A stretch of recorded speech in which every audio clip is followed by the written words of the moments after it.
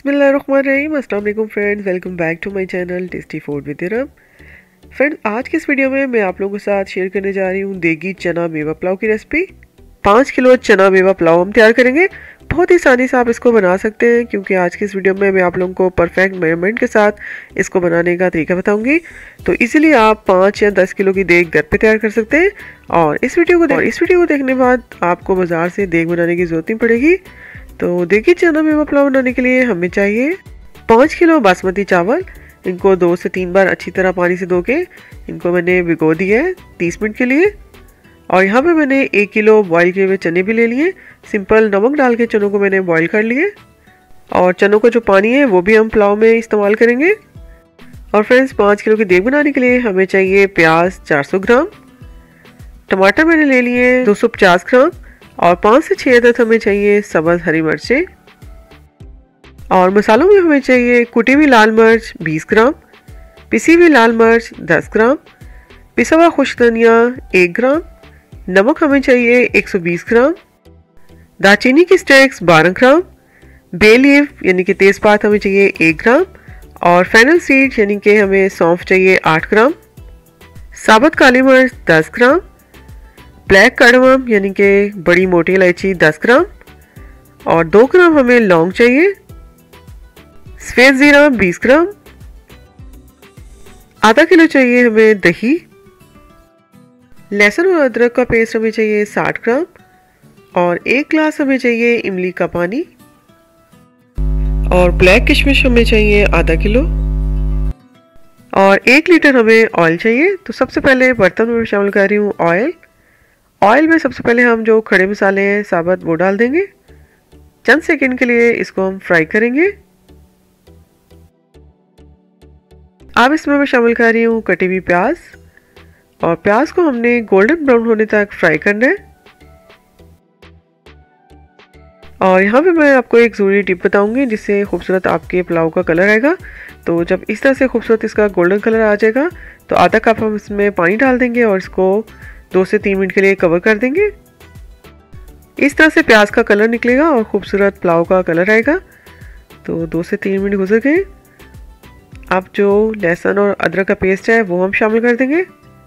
और एक से दो मिनट के लिए इसको भी प्याज के साथ भून लेंगे। और फिर ये बांटने के लिए मैं पुलाव बना रही हूँ। तो मैंने सोचा कि आपके साथ भी ये रेसिपी शेयर की जाए तो ज़रूर आपने इसको एंड तक देखना है। और अब जो तमाम मसाले हैं, वो हम इसमें शामिल कर देंगे। और दो से तीन मिनट इनको भून लेंगे। अब जो कटे हुए टमाटर हैं, वो शामिल कर देंगे। और इसको तब तक हमने पकाना है जब तक टमाटर गल नहीं जाते। साथ अगर पानी का छींटा लगाने की ज़रूरत पड़ेगी तो वो भी हम साथ साथ लगाते रहेंगे। थोड़ी सी साबुत हरी मिर्चें जो हैं, वो भी मैंने साथ ही डाल दी हैं। इससे बहुत ही मज़ेदार टेस्ट आता है पुलाव का। तो फिर तकरीबन चार से पाँच मिनट लगे। मसाला जो है वो हमारा अच्छा भुन चुका है। टमाटर अब हम आँच हल्की कर देंगे और इसमें जो आधा किलो दही है वो डाल देंगे। आँच हमने इसलिए हल्की करनी है ताकि एकदम जब हम दही डालेंगे तो वो फटे ना। अब इसमें मैं शामिल कर रही हूँ बॉईल किए हुए चने। चनों का पानी अभी मैं नहीं डाली सिर्फ़ चने डालेंगे। इसको भी एक से दो मिनट के लिए मसाले के साथ भून लेंगे। अब फ्रेंड्स इसमें मैं इमली का पानी डाल रही हूँ, जो कि हमने एक गिलास लिया था। इसको अच्छी तरह मिक्स कर लेंगे। अब फ्रेंड्स इसमें हमने पानी शामिल करना है। तो पहले जो चनों का पानी है, वो हम शामिल करेंगे। तो पाँच किलो हमारे चावल हैं तो इसमें हम साढ़े चार लीटर पानी डालेंगे। थोड़ा सा कम हम पानी रखेंगे, तभी जो पुलाव है हमारा, वो खिला खिला बनेगा।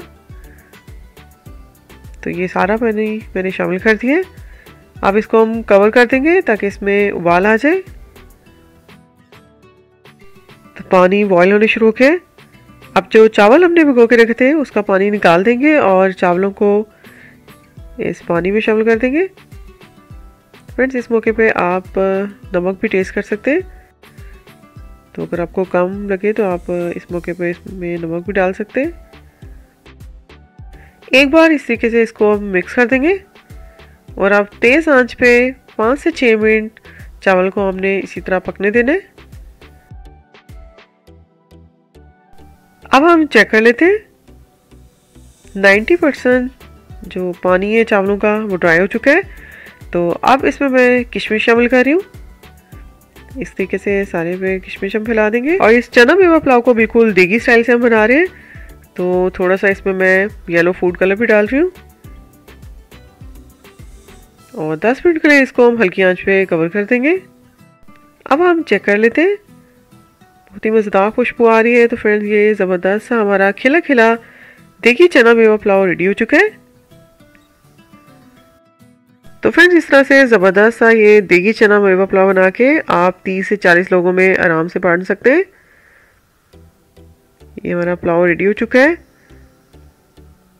अब हम इसको बॉक्स में डालेंगे और फिर इसको बांट देंगे तो, तो फ्रेंड देखा आप लोगों ने कि कितनी आसानी से परफेक्ट मेज़रमेंट के साथ पाँच या दस किलो की देग आप आसानी से घर पर बना सकते हैं। तो आज की ये ज़बरदस्त सी वीडियो आपको कैसी लगी ये कमेंट करके मुझे ज़रूर बताइएगा। मिलते हैं नेक्स्ट वीडियो में तब तक देखते रहें टेस्टी फ़ूड विद राम